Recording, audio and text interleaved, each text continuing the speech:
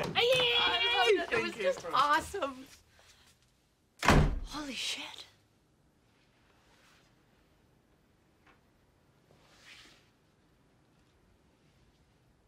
What are you doing here? I'm back. Who's this?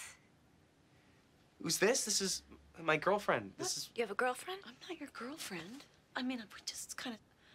Hi, I'm Polly. Lisa. Right.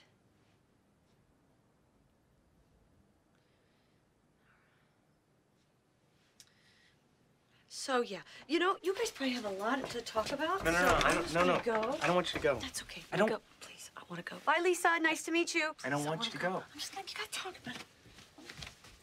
Just gonna go.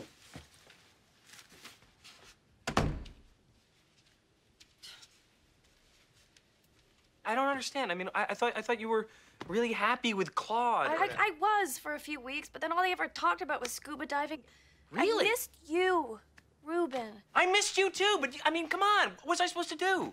I moved on.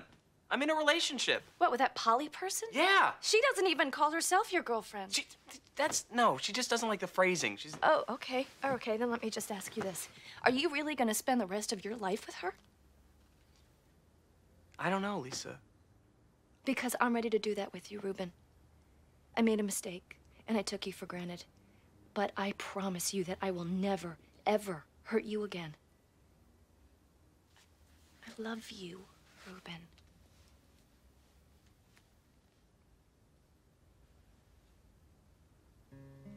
You know what? I think um, I think you should um, go stay with your parents, okay? Because I gotta be out of here in a week. What are you talking about? Where are you going? Where am I going? I'm going into the house. Remember the house that I bought for us to live in? Well, then let's let's do it together. Let's go move into our house. No, just no. We can't just go. I can't.